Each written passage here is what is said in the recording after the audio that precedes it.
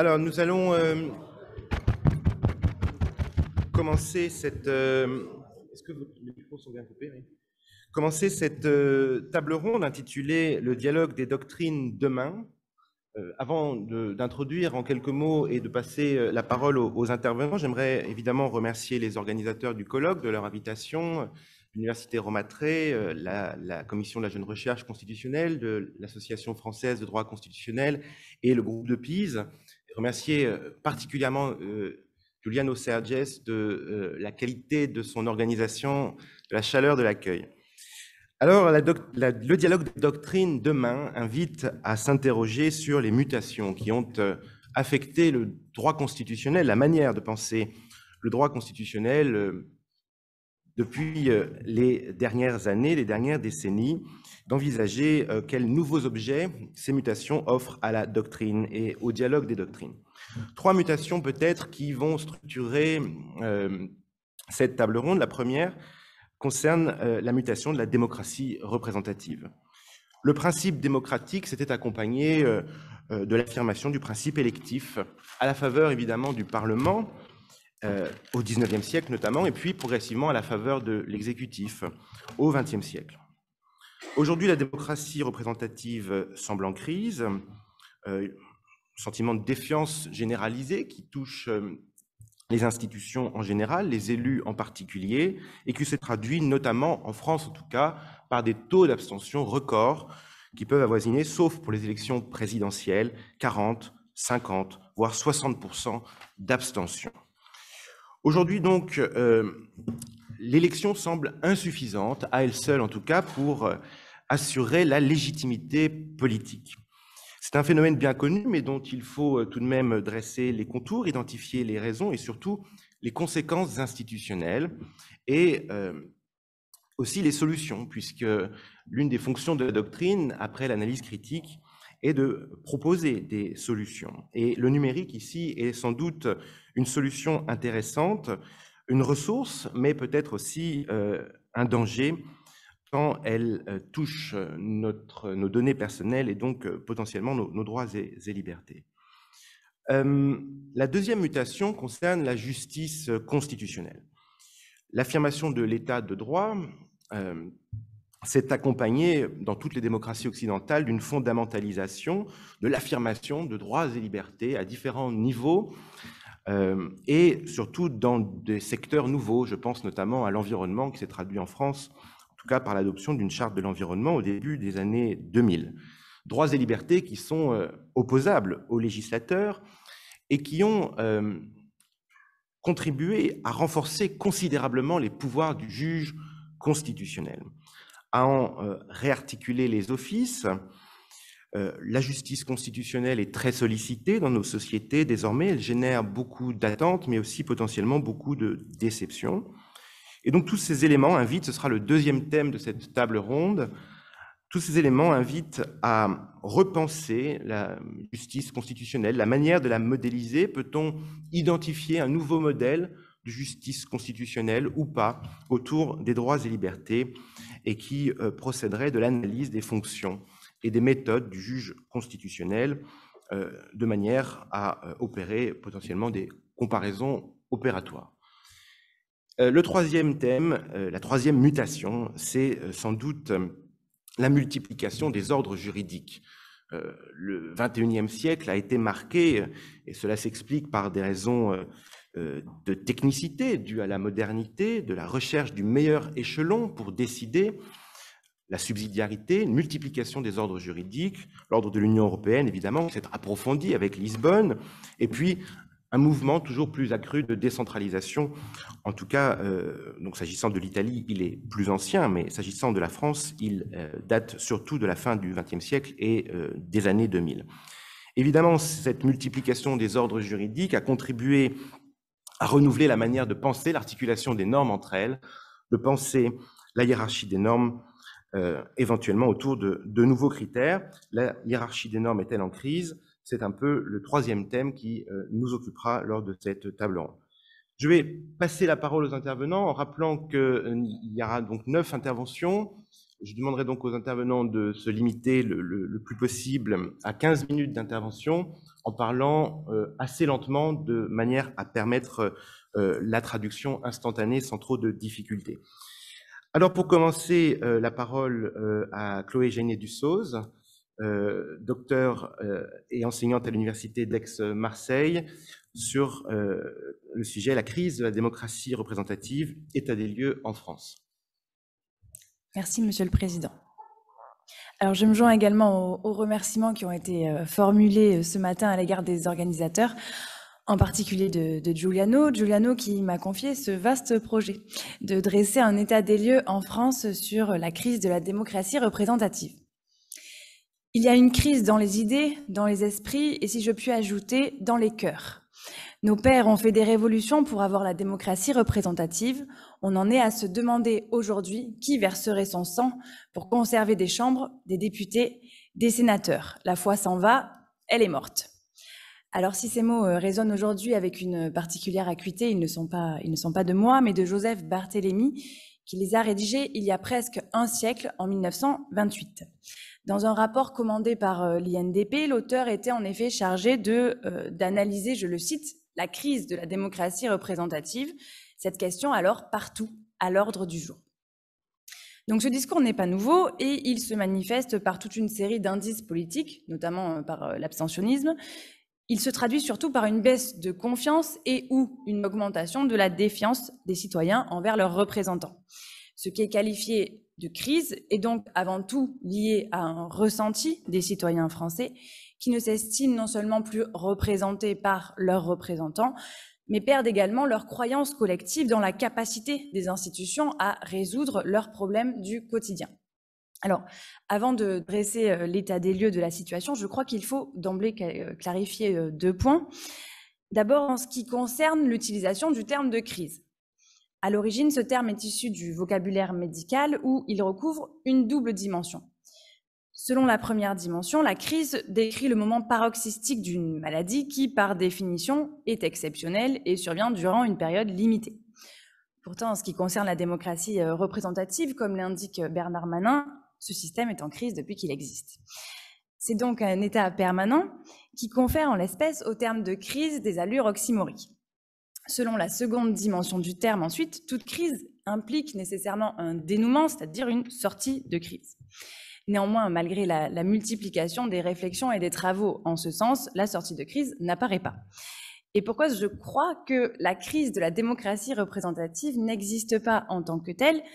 Le fait que son histoire soit depuis l'origine euh, rythmée de revendications assises sur le sentiment de son imperfection ne constitue pas une preuve qu'elle est en crise, mais participe simplement à la mise en lumière du décalage permanent qui existe entre d'un côté l'idéal type à laquelle les citoyens, euh, pardon, l'idéal type qui constitue le modèle de la démocratie représentative, et de l'autre, la réalité à laquelle les citoyens sont confrontés. Et comme tout modèle, il s'agit d'une utopie dont découle nécessairement un écart entre, avec euh, l'objet qu'il est susceptible de représenter. Donc plutôt que euh, d'appréhender la crise de la démocratie représentative à proprement parler, l'objectif est surtout ici de saisir l'ampleur du décalage qui existe entre cet idéal type et la réalité, qui constitue aujourd'hui l'essence du discours sur la crise de la démocratie représentative. Donc ça, c'était la, première clarification.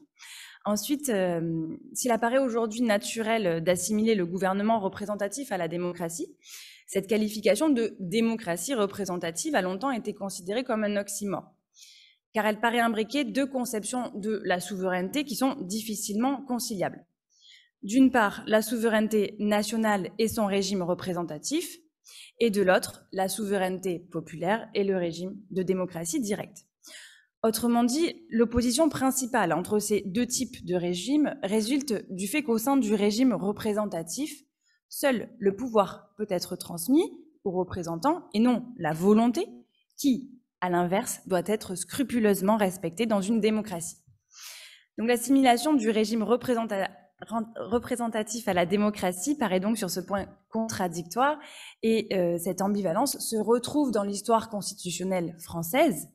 Euh, elle est marquée par des hésitations entre ces deux conceptions de la souveraineté pour euh, finalement consacrer une forme de compromis entre ces deux conceptions à partir de la quatrième République. Donc, si l'expression de, démocratie représentative est familière, elle cache une association complexe de termes ambivalents qui fragilisent nécessairement la conception du modèle à suivre. Le modèle de la, de la, démocratie représentative réside dans la tentative de synthèse de ces deux conceptions de la souveraineté en essayant finalement de concilier presque l'inconciliable, c'est-à-dire le peuple et la représentation.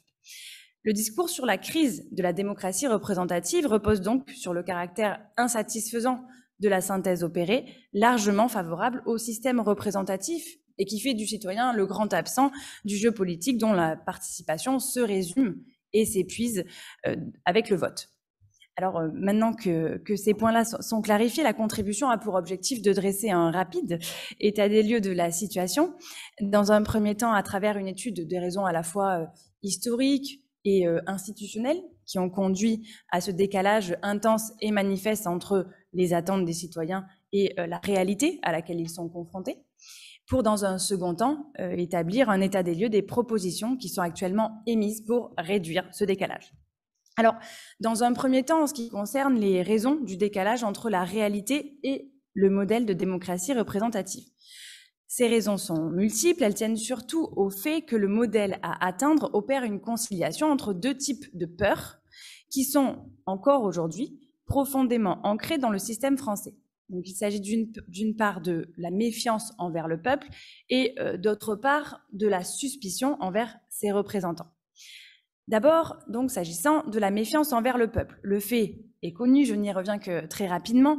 Depuis la Révolution française, le régime français est confronté à une peur du peuple qui, euh, dans le cadre de la, prise de décision politique, hein, et qui éloigne la réalisation concrète du modèle démocratique. Le peuple est réputé incompétent, il est en proie à diverses passions et donc il est susceptible d'adopter des décisions qui seraient dangereuses. Comme il ne dispose pas des qualités requises pour gouverner, il n'est pas souhaitable de laisser le peuple se gouverner. Cette idée est à l'origine euh, initiée par Montesquieu, elle sera reprise à la Révolution française par Sieyès, qui souligne plusieurs fois le manque d'instruction des citoyens pour s'occuper directement des lois. C'est donc une vision aristocratique de la société qui est pour la première fois mise en œuvre euh, dans, la, dans la Constitution de 1791. Et la théorie de la représentation ainsi appliquée dès la Révolution française ancre pour longtemps la méfiance à l'égard du peuple et dictera en France une véritable réserve vis-à-vis du fait démocratique. Cette réserve va s'amplifier avec les expériences plébiscitaires bonapartistes qui mettent en lumière les potentielles manipulations dont le peuple peut faire l'objet afin de renforcer l'exécutif. Donc ce qui était à l'origine une méfiance à l'égard de la législation directe se mue en un véritable rejet, notamment sous la Troisième République. Et là-dessus, la lecture des débats parlementaires est très éclairante car on s'aperçoit que encore aujourd'hui, cette peur du peuple est toujours présente. Les débats euh, évoquent souvent la vertu des parlementaires qui est, je cite, d'instruire le peuple. Le poids de l'histoire est ici prégnant et euh, permet d'expliquer pourquoi le déclenchement des procédures référendaires en France demeure aujourd'hui encore entièrement entre les mains euh, des représentants, on songe ici notamment à ce qui est qualifié à tort en France de régime euh, de référendum d'initiative partagée, mais aussi au niveau euh, local, le référendum local. Donc en résumé sur ce point, la culture euh, juridique et politique hexagonale est marquée par une crainte manifeste à l'égard du peuple et il en ressort une première difficulté. La volonté de démocratisation des institutions est sans cesse confrontée à cette méfiance qui tend, in fine, à maintenir le décalage originel entre la réalité et le modèle démocratique à atteindre. En ce qui concerne ensuite la suspicion envers les représentants, dans son contrat social, Jean-Jacques Rousseau pose les jalons de la critique française et par là de la méfiance à l'encontre de la représentation. D'abord, afin de conserver la liberté et l'autonomie des individus, Rousseau rejette toute aliénation de la volonté via la représentation pour faire de la souveraineté l'exercice de la volonté générale. En admettant que la souveraineté ne peut pas se représenter, Rousseau scelle la méfiance française, du peuple français à l'encontre de ses représentants. Et lorsque les Jacobins mettent en place la Première République, ils dénoncent constamment la fonction de représentants. Robespierre les identifie à des despotes, toute fonction de représentant est systématiquement assimilée à un double soupçon. D'une part, celui d'usurpation du pouvoir souverain et d'autre part, celui d'abus par l'assimilation du corps des représentants finalement un corps de corrompus. Et cette suspicion originelle envers les représentants perdurera. Ensuite, la théorie rousseauiste de la volonté générale consacre ce qu'on appelle le monisme français, en vertu duquel le peuple est un et le pluralisme politique ne saurait être toléré. Alors pour faire court, euh, Rousseau admet que la volonté générale se détermine par la volonté du plus grand nombre, autrement dit de la majorité. Néanmoins, il use de ce que Rousseau, Dominique cette fois, qualifie de coup de force théorique en estimant que la majorité doit être considérée comme valant pour l'unanimité. Et cette vision rejette la prise en compte des opinions minoritaires qui sont pour lui nécessairement erronées. Et à ce rejet fonctionnel et institutionnel des minorités par Jean-Jacques Rousseau s'ajoute un rejet de la délibération qu'il assimile tout simplement à la décision selon lui, euh, tout effort de, rhétorique, de persuasion, d'argumentation euh, apparaît forcément inutile dans la mesure où le choix décisionnel des individus résulte d'une volonté déjà déterminée et qui ne doit surtout pas être modifiée. Donc l'exaltation de la volonté générale conduit Rousseau à proclamer l'anomalie de l'opposition, les dangers du pluralisme et la nocivité de la délibération. Cette conception imprégnera durablement les institutions françaises. Parce que les révolutionnaires en quête d'unité se placent sous l'ombre protectrice de Rousseau. Saint-Just écrit d'ailleurs que la majorité a le droit de supprimer la minorité. En retenant la conception rousseauiste de la volonté générale, le modèle de pensée de la démocratie représentative issue de 1789 ne parvient pas à penser le statut et le rôle des minorités, il ne parvient pas non plus à penser le compromis politique. Et le culte de la force majoritaire que l'on retrouve aujourd'hui encore sous la Ve République trouve racine dans ce rousseauisme revisité par l'esprit jacobin. Donc pour conclure sur l'ensemble de ce premier point, le décalage entre la réalité et le modèle à atteindre est nécessairement important dès lors que ce modèle contient en lui-même deux peurs ambivalentes qui sont particulièrement ancrées au sein de la culture institutionnelle française. Dans un second temps, maintenant, s'agissant des propositions émises pour une résorption du décalage entre la réalité et le modèle de démocratie représentative. Alors, cette résorption suppose de conserver et d'améliorer le cadre de la représentation, tout en conférant un rôle accru au peuple qui est désireux de s'exprimer et de participer davantage à la prise de décision politique. En ce qui concerne d'abord les moyens de euh, renouer le lien entre les citoyens et leurs représentants, c'est ici un, renouvellement du lien de verticalité qui était envisagé. Alors sur plusieurs points que j'évoquerai rapidement, euh, en matière d'initiative, une demande citoyenne peut par exemple être formulée via l'exercice du droit de pétition. Ce mode d'alerte habituel en France a euh, fait l'objet euh, récemment d'une rénovation devant les assemblées parlementaires où les, pétitions étaient tombées en désuétude et il existe aujourd'hui des plateformes de dépôt en ligne des pétitions. Néanmoins, les mécanismes euh, juridiques prévus pour encadrer euh, ce, procédé se révèlent complexes et il n'est pas certain qu'ils améliorent le relais entre citoyens et parlementaires. Je prendrai un exemple, celui du Sénat. Euh, il est prévu qu'une pétition ayant atteint le seuil fixé ne connaisse pas automatiquement de suite si la conférence des présidents décide qu'il n'y a pas lieu d'aller plus loin, ce qui est difficilement compréhensible quand même pour, pour les citoyens. Et toujours en matière euh, d'initiative, une ouverture citoyenne de l'instrument référendaire est, fréquemment euh, plébiscitée. On songe ici euh, notamment au mouvement des Gilets jaunes, dont la revendication principale était l'instauration du RIC, le référendum d'initiative citoyenne, qui permettait entre autres de proposer et d'abroger des lois. Une réforme du référendum d'initiative partagée avait donc été prévue pour assouplir les conditions qui existent aujourd'hui, mais elle n'a finalement jamais abouti. Ensuite, en matière de délibération, il existe donc une multiplication aujourd'hui de ce qu'on appelle les mini-publics, les assemblées euh, citoyennes, dont les membres sont tirés au sort. Ces assemblées offrent aux citoyens sélectionnés la possibilité de s'informer, de discuter, d'émettre des propositions sur un thème précis, et euh, tout en laissant aux élus le pouvoir d'arbitrage final. Donc leur succès s'explique en partie par leur caractère représentatif. Néanmoins, pour obtenir une représentation qui reflète le plus fidèlement possible la composition de la population concernée, Le, tirage au sort est dit stratifié, c'est-à-dire qu'il détermine à l'avance les catégories sociologiques que l'on souhaite voir représentées. Donc les critères qui sont souvent retenus sont les critères euh, de sexe, euh, d'âge ou encore de catégories socio-professionnelles. Et alors c'est très séduisant en termes d'image, c'est pour ça que ça plaît beaucoup, mais cette compensation a toutefois tendance à entraîner ce qu'on appelle une sous-représentativité attitudinale. Donc là j'ai une pensée pour les traductrices. Euh, les, opinions du panel ne reflètent pas toujours euh, proportionnellement les opinions de la, de la population et euh, le panel ne connaît pas forcément de pluralisme politique. Plusieurs pistes de réflexion existent face à ces difficultés. Alors, pour en citer quelques-unes, notamment, on pourrait abandonner les quotas et instaurer une obligation de présence à l'instar des jurys populaires ou français ou britanniques. Par ailleurs, il est aussi important de clarifier l'articulation entre les attributions de ces assemblées et celles des représentants élus afin d'éviter le fameux risque déceptif rencontré lors de la récente Convention citoyenne pour le climat. Et enfin, la constitution de commissions parlementaires délibératives entre parlementaires et citoyens tirés au sort permettrait également un rapprochement en ce sens. Les récentes euh, expériences belges attestent de la faisabilité et du caractère satisfaisant de ces commissions qui pourraient aussi bien inspirer les collectivités territoriales que le Parlement français.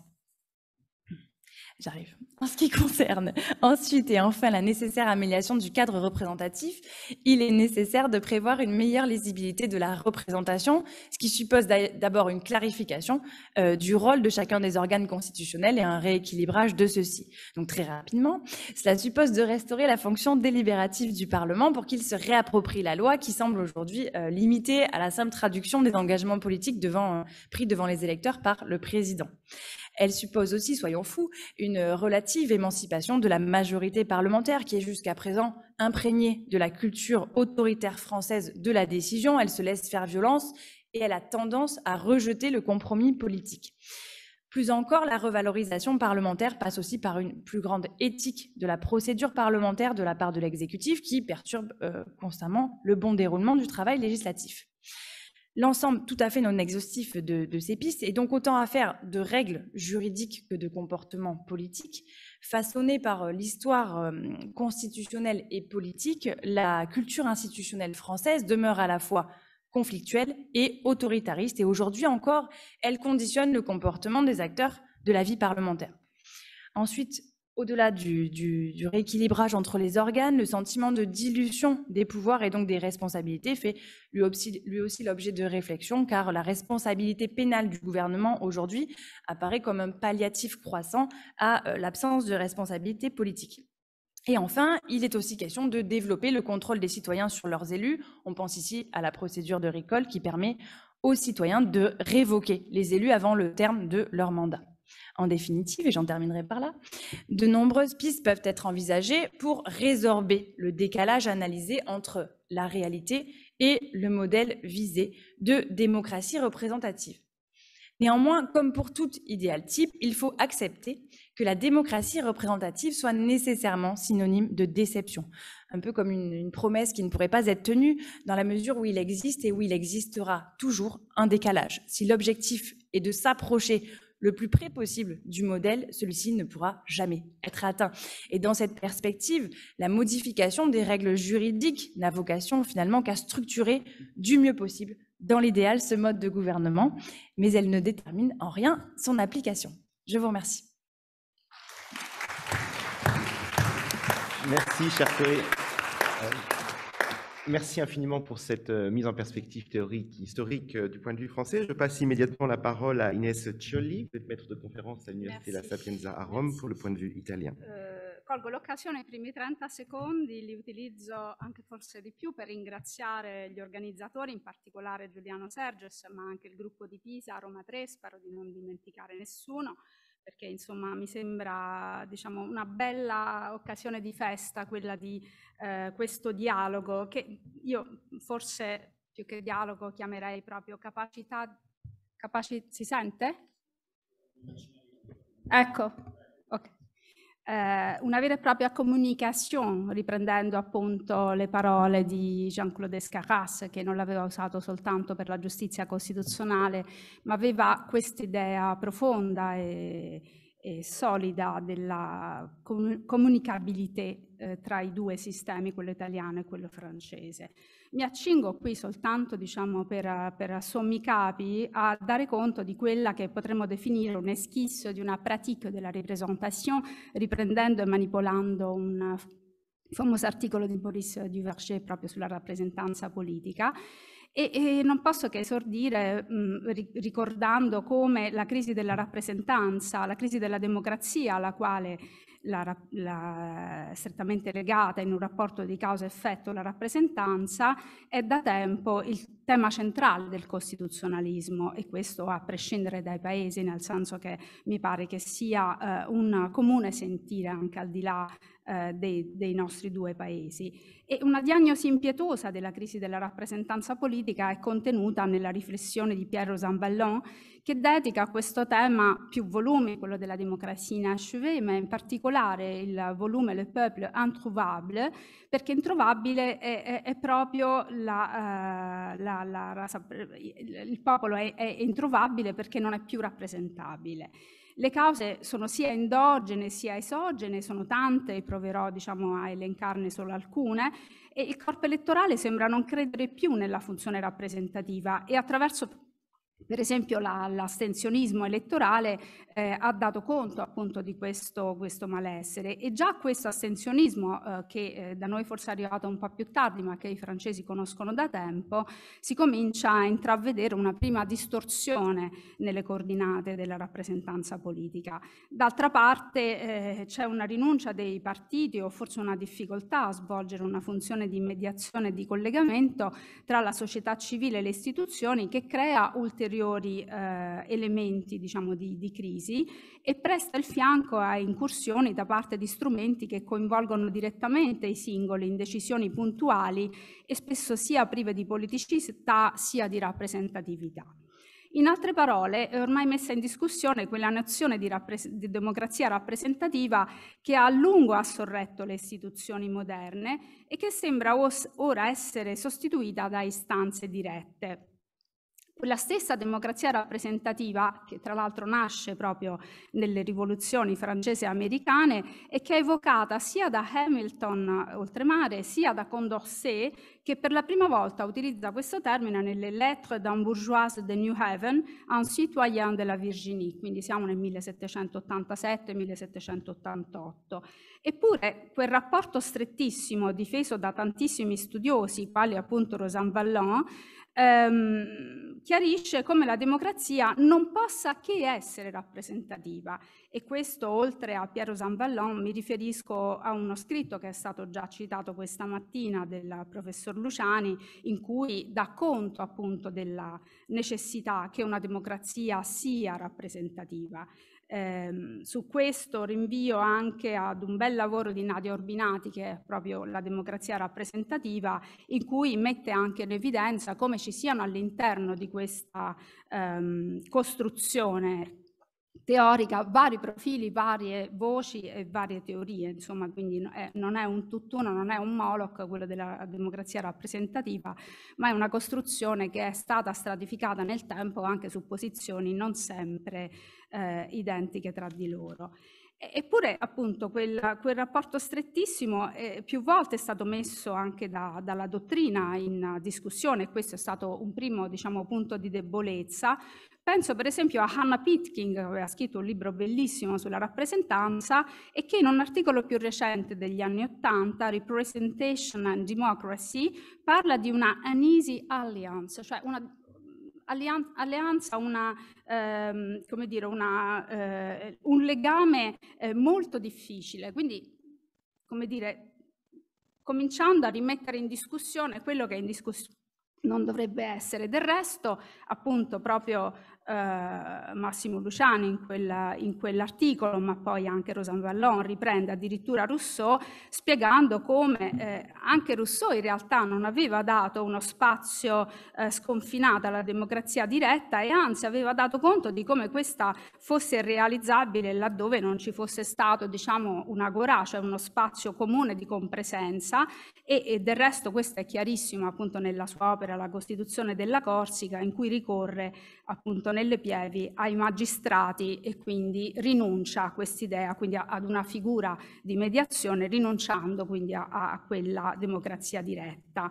Dico questo perché la tentazione della democrazia diretta deve essere radicata dalla dottrina ed essere estirpata da subito perché eh, le, eh, i misunderstanding, le, i travisamenti che essa può eh, portare sono eh, sotto eh, diciamo, la, la, la lente che tutti possiamo utilizzare come studiosi ovvero eh, la mancanza di una mediazione eh, tra l'altro trova un riscontro nella, nella, pratica quotidiana. E penso per esempio al lavoro di Bernard Manin sul principi del governo rappresentativo eh, che eh, mette in evidenza questa democrazia del pubblico che forse non è nemmeno una democrazia diretta ma è una democrazia nel quale manca proprio la mediazione cioè manca la rappresentanza. E l'esposizione mediatica prevede un rapporto diretto con l'opinione pubblica. Questo porta eh, a una serie di conseguenze come quello della verticalizzazione del potere, un surplus di potere monocratico appunto nelle mani di pochi,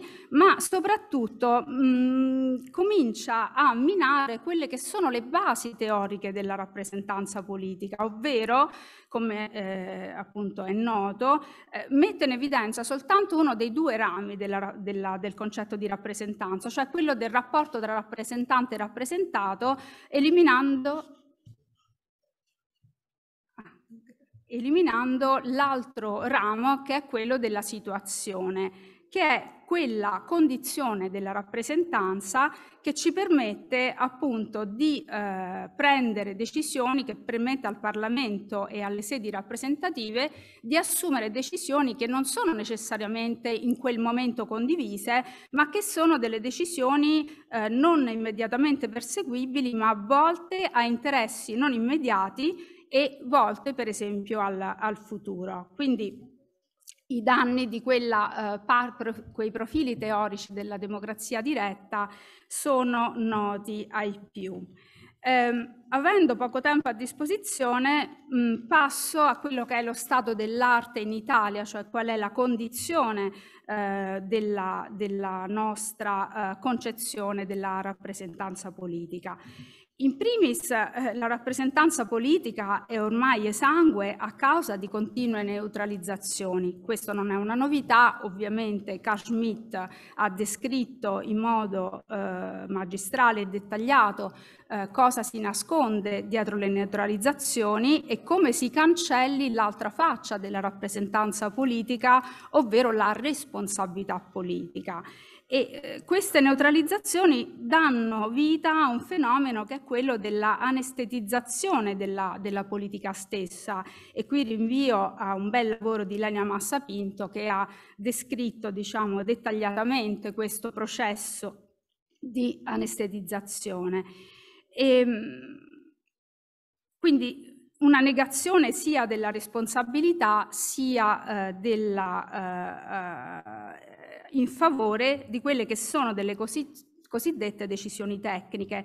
E penso qui per esempio a tutta una serie di decisioni che sono state imposte ai nostri parlamenti, penso anche alla eh trasposizione del Fiscal Compact in eh, revisione, in, in una eh, diciamo, eh, che è entrato in Costituzione e che il Parlamento ha deciso senza un dibattito politico vero e proprio, perché la, la decisione finale era quella di, eh, diciamo, l, l, lo scopo finale non era uno scopo politico, ma era quello di dare una stabilità ai mercati. Quindi in realtà non è nemmeno più la tecnica che neutralizza la politica, ma è quella che potremmo definire la tecnocrazia, cioè la stessa finalità è una finalità tecnica.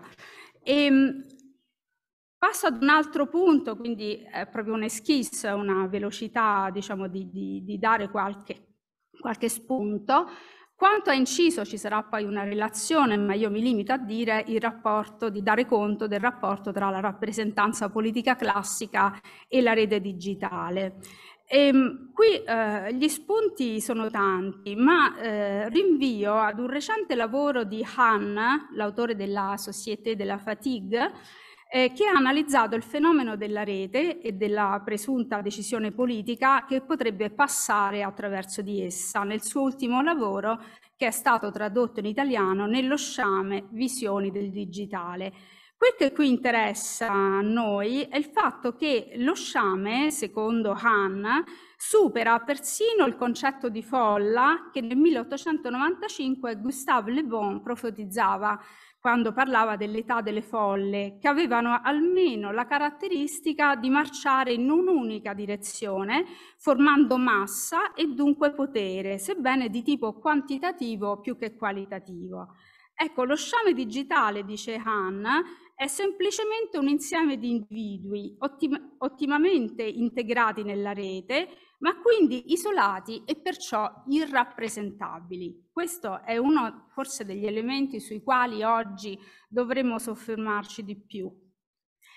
C'è poi una questione dei tempi dei parlamenti eh, che non posso qui eh, diciamo, eh, esaminare nel dettaglio, ma che certo eh, la decisione in tempi rapidi eh, comporta una diminuzione rispetto a quella che è la partecipazione e la rappresentanza politica nella sede parlamentare. Penso ovviamente in Italia al progressivo contingentamento dei tempi parlamentari, alla questione di fiducia sui maxi emendamenti ai decreti legge, al restringimento dello spazio per le minoranze parlamentari e politiche e la progressiva esautorazione esautorazione anche delle intese tra Stato e Regioni, che durante la pandemia ha visto la sostituzione di queste intese con formule quali sentiti presidenti di assemblea o ancor più raccapricciante sentito il presidente della conferenza Stato e Regioni, come se le regioni non avessero avuto, diciamo, non avessero una loro individualità. E passo a trattare eh, veramente per sommi capi eh, sulle riforme che hanno eh, in, in, Italia eh, diciamo, particolarmente affievolito il concetto di rappresentanza politica e la sua vis, la vis rappresentativa. E già eh, nel 2019, a fonte dei primi dibattiti sulle riforme costituzionali, eh, Massimo Luciani sosteneva che il fondamento rappresentativo appare come un tratto caratterizzante essenziale del nostro assetto costituzionale in quanto sottratto alla disponibilità del legislatore di, revisio di revisione, ovvero se eh, appunto doveva essere sottratta l'idea appunto della rappresentanza parlamentare, in realtà è stata invece fortemente inficiata dalle riforme i primi tentativi diciamo, di trasfigurare la rappresentanza parlamentare c'erano stati nei due progetti di riforma omnibus del 2006 e del 2016 che non sono passati ma che hanno lasciato poi invece uno spazio non indifferente a delle riforme sì puntuali ma consecutive che hanno semplicemente suddiviso e frazionato quella idea iniziale appunto di eh, come dire, di eh, eliminazione della centralità del Parlamento eh, attraverso appunto atti diversi di cui mi accingo velocemente a parlare. Intanto appunto ricordo che per eh, la stessa Corte Costituzionale eh, la, la, sovranità popolare risiede, il luogo principe della, eh, della, rappresentanza politica, ma soprattutto della sovranità popolare, è il Parlamento e lo ha detto sia nella sentenza 106 del 2002, la Corte Costituzionale, e poi nella sentenza 1 del 2014. Quindi ogni forma di debilitazione del Parlamento corrisponde con una debilitazione eh, della, della rappresentanza politica. E penso alla riduzione del numero dei parlamentari. Arrivo quindi subito al, alla, a questa questione, eh, è, è, appena diciamo, è entrata in vigore ormai la riforma, che tra l'altro ha un valore simbolico non indifferente, perché ridurre i numeri del Parlamento significa incidere sulla sede della rappresentanza politica, ritenendo che vi sia qualcosa di superfluo da eliminare o da estirpare. Inoltre la riduzione porta con sé un effetto maggioritario per più motivi. Banalmente perché per eleggere un deputato saranno necessari più voti e i partiti più piccoli soffriranno maggiormente la riduzione con un effetto moltiplicatore se poi, come si discute, la legge elettorale proporrà anche una soglia di sbarramento, quindi ci sarà un effetto combinato di questi due fattori e i partiti più piccoli probabilmente avranno una rappresentanza minore quando nella migliore delle ipotesi. E poi un Parlamento così depotenziato potrà svolgere compiti di ratifica delle decisioni del governo e di controllo nella migliore delle ipotesi, ma la funzione legislativa, che in gran parte si svolge nelle commissioni, sarà assai complessa, anche dovendo modificare i regolamenti parlamentari, perché non sarà facile rispettare quel criterio di proporzionalità delle commissioni prescritto in Costituzione. Ci sono anche tante altre cose, ma eh, volevo anche mettere in evidenza come eh, eh, anche la, eh, riforma, eh, la riforma prevista, che è tornata in auge recentemente nel, nel documento diciamo, proprio di questi giorni dell'ottobre 2021 che riprende la questione della differenziazione eh, delle regioni appunto differenziate ex articolo 116,3 che pur non passando per il 138 incide fortemente anche sulla nostra idea di rappresentanza perché alcune eh, eh tutele, eh, alcune funzioni legislative saranno totalmente devolute alle regioni e quindi questo non può che comportare un debelimento della, eh, della, eh, de, del Parlamento. Eh, due punti in un minuto ciascuno mi si dice. Uno è che proprio in questi giorni, il 20 ottobre 2021, è passata un po' sotto traccia un'altra revisione costituzionale, la legge costituzionale 1 del 2021 ha modificato l'articolo 58 della Costituzione e quindi l'elettorato attivo del Senato passa da 25 a 18 anni. Sembrerebbe una riforma innocua, anzi volta a rivivificare la rappresentanza politica includendo i più giovani, ma ricordiamo ricordiamoci che eh, intanto ciò avviene in un Senato che è completamente, che nella prossima legislatura sarà ridotto a 200 membri. Quindi chiaramente questo rinvigorimento non è detto che possa diciamo, esplicare i suoi effetti positivi, ma soprattutto si sta prospettando anche attraverso questa riforma una sorta di monocameralismo di fatto alternato di cui molti studiosi hanno parlato. E questo significa ovviamente ridurre uno spazio che era tipico del Senato come chambre de réflexion, cioè dibattito, compromesso, mediazione politica, vengono completamente cancellati anche da questo questa riforma.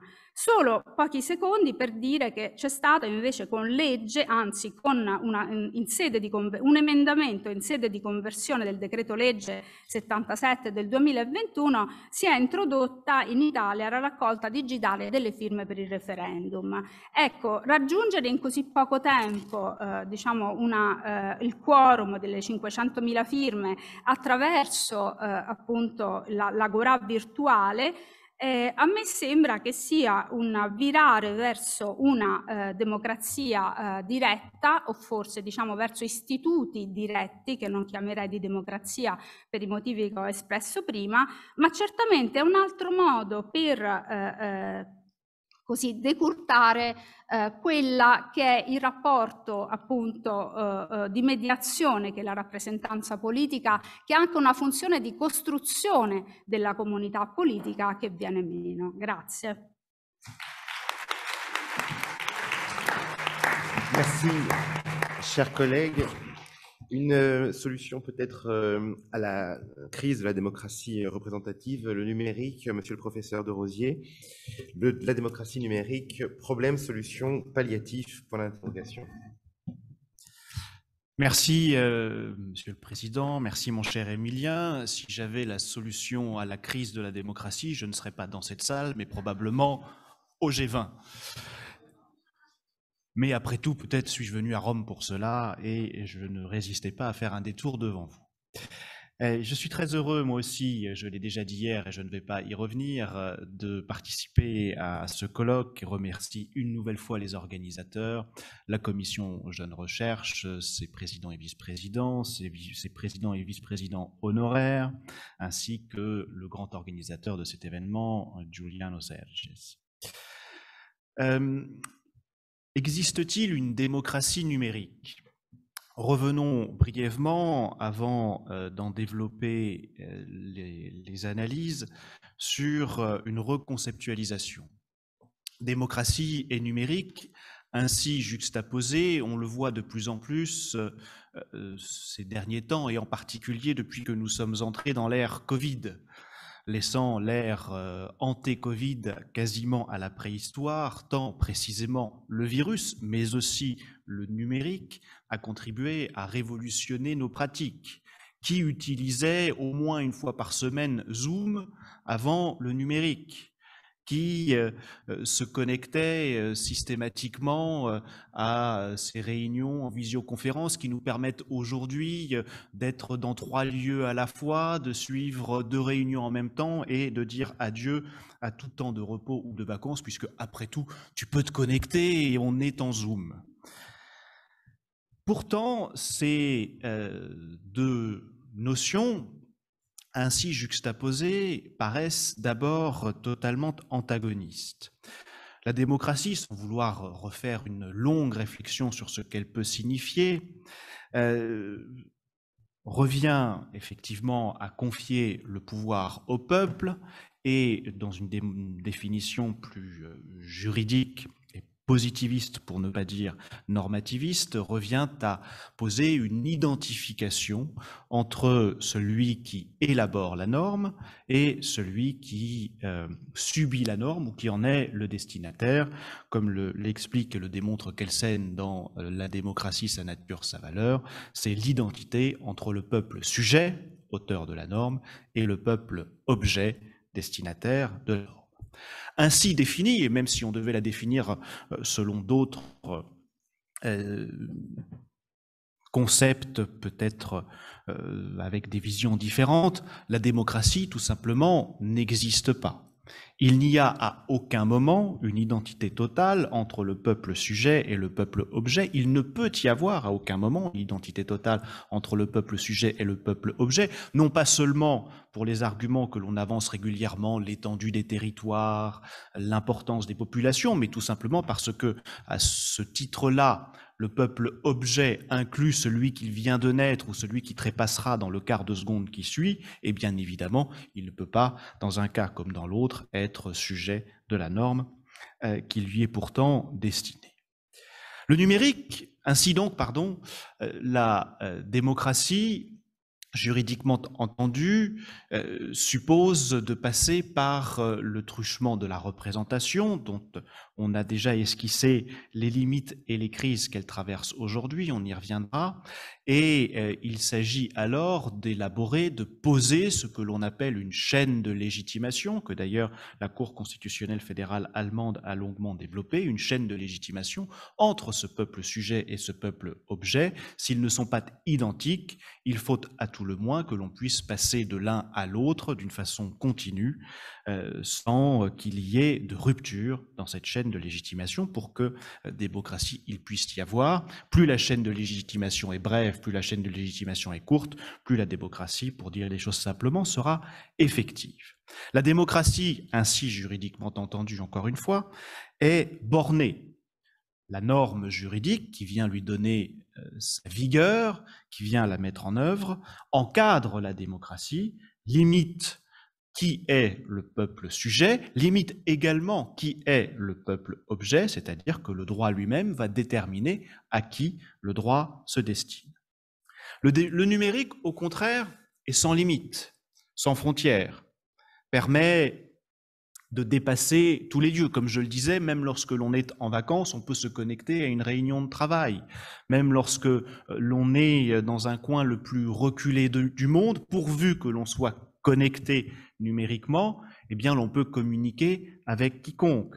Et en ce sens, évidemment, il a révolutionné les pratiques, mais c'est là où précisément il est antagoniste à tout processus juridique et à la démocratie juridiquement entendue, puisque d'un côté, nous avons un phénomène juridique, un concept juridique qui borne, et de l'autre, un numérique qui ne connaît aucune frontière. Et pourtant, on associe assez régulièrement le numérique à ces phénomènes juridiques, parlant de souveraineté numérique, parlant de démocratie numérique, pour ne citer que quelques exemples. Et en effet, le numérique est souvent présenté comme une solution, euh, un palliatif à certaines difficultés, pour ne pas dire crises, que traverse la démocratie. Parfois, au contraire, on le pose comme un problème. Eh bien, l'objet de cette présentation sera de vous exposer qu'en réalité, il n'est aucun des trois et qu'il n'a strictement rien changé, ou presque.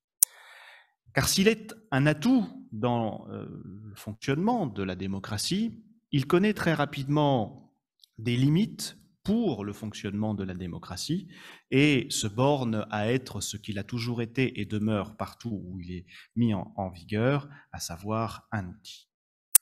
Les atouts du numérique pour la démocratie, on les voit à un double niveau. D'une part, grâce à la connexion qu'il permet, et d'autre part, grâce au dépassement qu'il favorise. La connexion, et je serai euh, assez ramassé dans mes développements et dans mes exemples, mais euh, je pense que ce seront des éléments qui vous parleront et que l'on pourra retrouver dans une contribution écrite que je n'oublierai pas de remettre euh, dans les meilleurs délais à notre ami Giuliano qui est en train de tout piloter comme il se doit.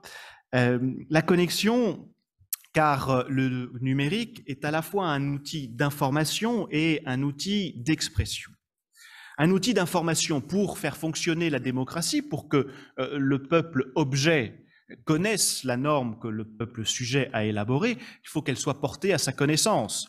Et pas seulement euh, l'énoncé de la norme, mais également son contenu, euh, éventuellement pour qu'il puisse effectuer le contrôle démocratique nécessaire, sa façon dont elle a été élaborée. Et grâce à cela, pour cela, plus exactement, le numérique euh, favorise ce développement puisqu'il euh, diffuse les informations, il diffuse les normes elles-mêmes, il diffuse les processus d'élaboration. On a recours à euh, ces systèmes d'open data où toutes les données publiques sont mises en ligne et accessibles à quiconque, et là où autrefois euh, il fallait passer par euh, les comptes rendus, la lecture des comptes rendus, la lecture des comptes rendus de comptes rendus, la lecture d'analyses de comptes rendus de comptes rendus qui ont pu être faits. Aujourd'hui, il suffit de se connecter à euh, la visio ou à la séance publique en direct ou à tout ce qui est accessible au public pour suivre soi-même et avoir une, un accès direct à euh, la euh, norme ou à son élaboration ou au débat démocratique. Le numérique favorise donc euh, l'information et rend plus accessible la démocratie dans une dimension descendante, des gouvernants vers les gouvernés. À l'inverse, dans une, dans une dimension plus ascendante, des gouvernés vers les gouvernants, le numérique constitue un outil d'expression, on a recours au vote électronique, on a recours au vote par Internet, on a recours aux réseaux sociaux qui permettent de s'exprimer, qui permettent de contrôler les gouvernants.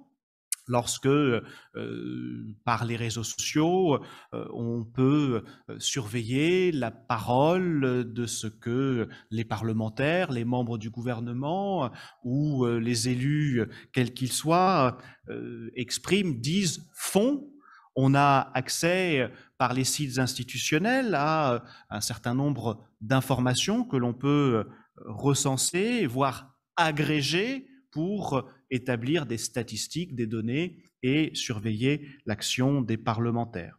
Le vote par Internet est supposé je dis bien supposé, car en réalité, il est très faiblement mis en vigueur pour des raisons euh, techniques. On n'aurait malheureusement pas le temps de les développer ici, mais euh, la plupart sont connus, et supposé favoriser la participation électorale, puisque, après tout, on peut voter de chez soi, sauf que, précisément, les difficultés techniques qui consisteraient à faire voter plusieurs dizaines de millions de personnes le même, le même jour pendant un espace-temps limité de 10 à 12 heures rend euh, euh, ce déploiement du vote par Internet dans des États tels que la France, l'Italie ou les grandes démocraties euh, qui nous entourent particulièrement difficile. Et l'on a alors recours au vote électronique, qui n'est pas le vote par Internet, et qui est donc un vote par machine à voter, qui suppose, lui, de même que le vote à l'urne, un déplacement dans les bureaux de vote.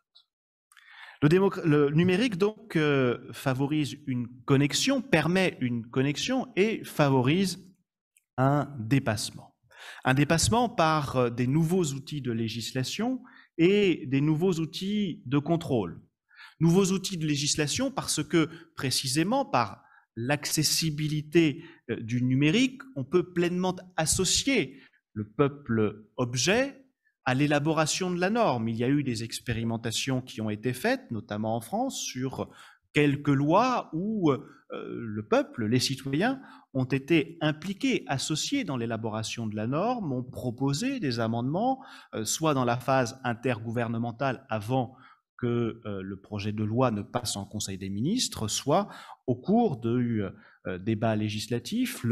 Les citoyens peuvent réagir aux études d'impact en France sur le site de l'Assemblée nationale ou du Sénat. On a en Italie une facilitation du recueil des signatures pour les référendums d'initiative populaire.